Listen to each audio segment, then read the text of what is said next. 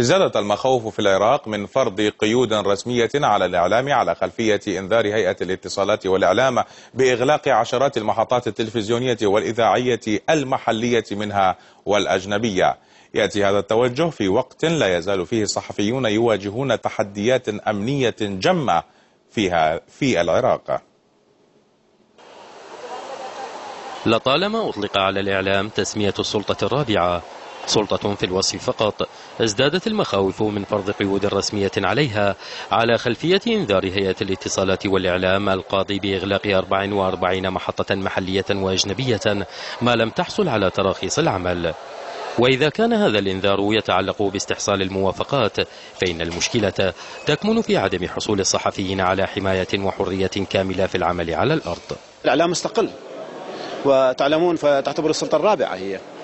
أي آه، آه، إضافة إلى السلطات الثلاثة التي موجودة في الدستور العراقي فهي السلطة الرابعة إذا آه، ومبدأ مبدأ تفرقة السلطات موجود. فإذا لا يمكن التدخل ولا البرلمان العراقي يجب أن يتدخل بأسرع وقت ممكن ويجب أن يكون هناك حرية والحفاظ على حرية الإعلام واستقلاليتها.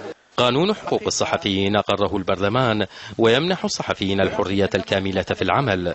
أما الحكومة فقد دعت في مناسبات كثيرة إلى عدم تقييد الإعلام. مواقف داعمة للعمل الإعلامي. لم تنهي اعتداءات رجال الأمن على الصحفيين ولم تشهد الساحة العراقية محاسبة أي معتد على الصحفيين وفقا للقانون. الآن ما زالت النقابة بتصد بصدد تشهيل لجان مع وزارة العدل والجهات الأخرى المختصة لغرض آه، تطبيق القانون على الأرض. ونظرا لكثرة التجاوزات على الصحفيين افتتح مرصد الحريات الصحفية في العراق مركز الحماية القانونية للصحفيين من أجل الدفاع عنهم. هذا المرصد. وثق الكثير من الحالات التي تعرض الصحفيون فيها إلى اعتداءات من جهات رسمية. يمكن أن أقول أننا من خلال هذا المركز سنتحول من حالة الدفاع السابقة عن الصحفيين إلى الهجوم المقابل. أي أننا نستطيع الآن أن نرفع دعاوى قضائية لحد هذه اللحظة.